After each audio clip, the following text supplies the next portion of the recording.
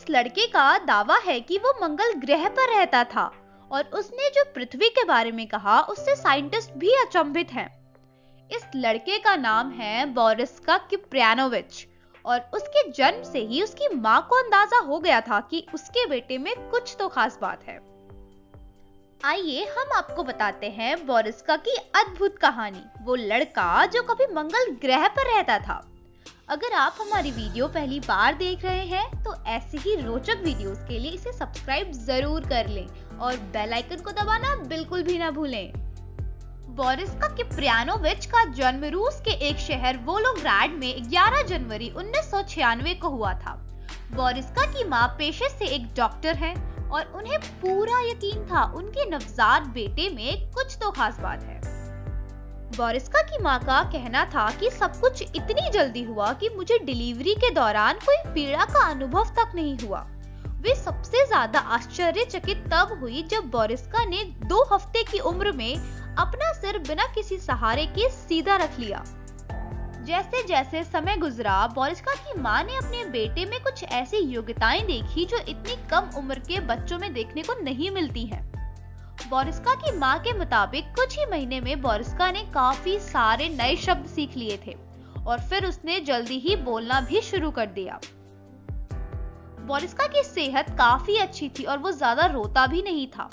डेढ़ साल की उम्र तक उसने पढ़ना, लिखना और पेंट करना शुरू कर दिया था।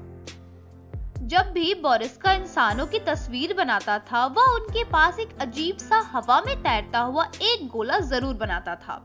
बाद में जानकारों ने यह अंदाज़ा लगाया कि बच्चा शायद लोगों का चित्र बनाते वक्त उनका और भी बनाता है, जो सिर्फ़ उसको दिखता था। जब बोरिस का दो वर्ष का हुआ तो उसकी माँ ने उसका एडमिशन किंडरगार्टन में करा दिया और वहाँ पर उसने अपने टीचर्स को अपनी एबिलिटी की वजह से अचंभित कर दिया। टीचर्स को उसकी लिखने की एबिलिटी ने आश्चर्य में डाल दिया। क्योंकि इतने अच्छे से तो कई बड़े बच्चे भी लिख नहीं पाते हैं जितना अच्छा बोरिस्का लिखता था। बोरिस्का की याददाश्त भी कमाल की थी। जैसे जैसे बच्चे ने कुछ और नए शब्द सीखे, उसने एक बार ऐसा कुछ बोल दिया जिसकी वजह से उसकी माँ दुविधा में पड़ने के साथ साथ परेशान भी हो गई। हर रोज वो एक अलग घर की बात करता था, एक ऐसा घर जो कि इस पृथ्वी पर है ही नहीं।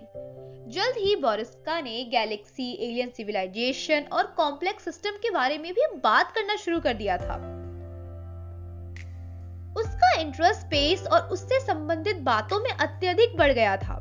उसकी माँ का ये भी कहना था कि जैसे जैसे बोरिस्का बड़ा होता गया, वो सबसे अलग थलग रहने लग गया।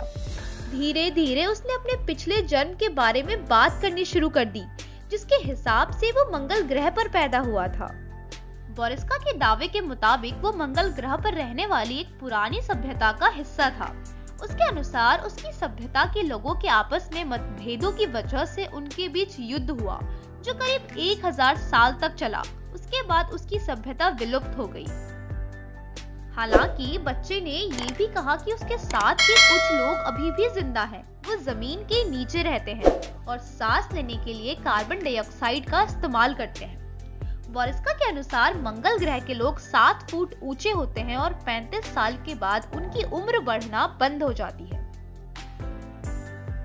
उसका ये भी कहना था कि उन लोगों में इंटरस्टेलर यात्रा करने की एबिलिटी होती है और उसने भी एक बार पृथ्वी की यात्रा की थी।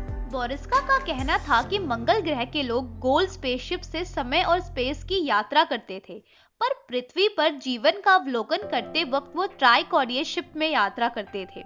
उसका कहना था कि रेड प्लैनेट के स्पेसशिप का सिस्टम काफ़ी कॉम्प्लेक्स होता था। उसके अनुसार उनके शिप्स मल्टी लेयर्ड होते थे और यूनिवर्स में कहीं भी जा सकते थे। फिर उसने कुछ ऐसा बताया जिसकी वजह से उसकी माँ ने उसकी कही बातों के बारे में जानने का फैसला किया। बोरिस्का के अनुसार उसकी सभ्यता का इजिप्ट की पुरानी सभ्यता और the great pyramid of Giza के बीच मज़बूत नाता था। उसने ये भी दावा किया था कि अगर द ग्रेट स्पिनिक्स खुल गया तो उसके अंदर पृथ्वी पर जीवन को आश्चर्यजनक तरीके से बदलने की ताकत है। बॉरिस्का के अनुसार द ग्रेट स्पिनिक्स को एक कॉम्प्लेक्स तरीके से खोला जा सकता है, जिसका राज उसके कान के पीछे है, और ये एक बार खुल गया तो यूनिवर्स के कई सारे राज बाहर आ जाएँगे। हालाँकि, बोरिस्का की बातों पर ज़्यादा विश्वास नहीं किया जाता था।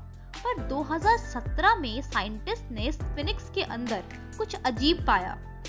कुछ साल पहले साइंटिस्ट की टीम को एशियन स्ट्रक्चर में एक अजीब रहस्यमयी चीज़ मिली। बोरिस्का की कई चौंका देने वाले किस्से सुनने के बाद और उसकी उम्र के हिसाब से कई ज़्यादा अद्भुत ज्ञान क्षमता को देखकर उसकी माँ ने रिसर्चर से संपर्क करने का फैसला किया। जब साइंटिस्ट ने बोरिस्का के केस को अध्ययन किया तो वो जल्द ही समझ गए कि ये बच्चा अत्यधिक रूप से बुद्धिमान है। ये भी पाया गया कि वो काफ़ी शर्मीला किस्म का बालक है और उसका व्यवहार बाकी बच्चों से काफ़ी अलग है।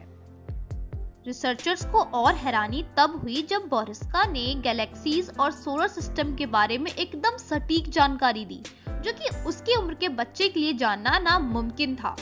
अपने ज्ञान की मदद से बोरिस्का ने दुनिया भर के विद्वानों और एस्ट्रोनॉमर्स को प्रभावित कर लिया था।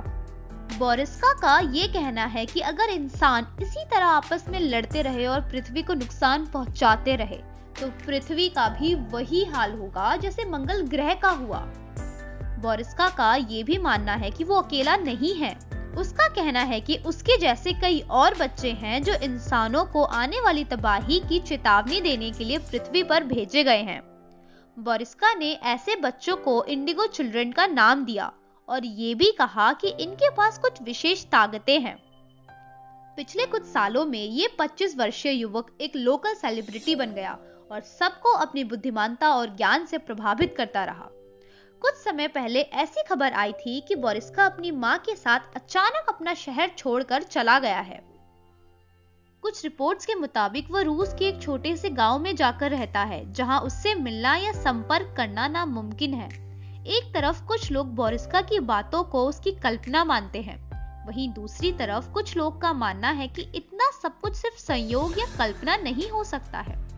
आपका इन सब के बारे में क्या कहना है? हमें कमेंट सेक्शन बॉक्स में ज़रूर बताएँ। अगर ये वीडियो आपको पसंद आई तो इसे शेयर करना बिल्कुल ना भूलें। मिलते हैं अगली वीडियो में ऐसी ही रोचक कहानी के साथ।